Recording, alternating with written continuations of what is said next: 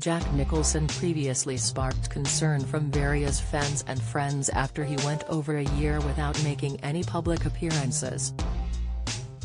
Thankfully, the star appears to be in good health at the age of 85, as he was pictured taking in the morning air on the balcony of his California home.